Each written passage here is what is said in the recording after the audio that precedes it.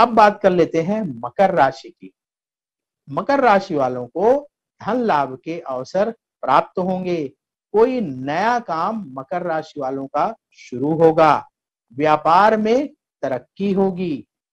जीवन साथी से सहयोग मिलेगा। शुभ रंग है आसमानी।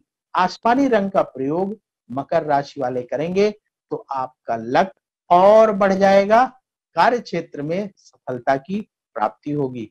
तो मान लीजिए आप आसमानी रंग की ड्रेस नहीं पहन पा रहे हैं किसी वजह से तो आप आसमानी रंग की या ब्लू कलर की रुमाल अपने जेब में रखिए, उससे भी फ़ायदा होगा। लकी कलर बहुत महत्वपूर्ण रोल अदा करता है हमारे लक को बढ़ाने में।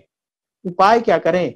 गाय को रोटी खिलाएँ तो देसी गौ माता को रोटी खिलाइएगा तो आपके लिए बहुत शुभ रहेगा। कम से कम तीन रोटी ले लीजिए और जहाँ देसी गौ माता हो, गौशाला में आपके आसपास वहाँ जा करके गौ माता को रोटी खिलाइए, उनको प्रणाम करिए।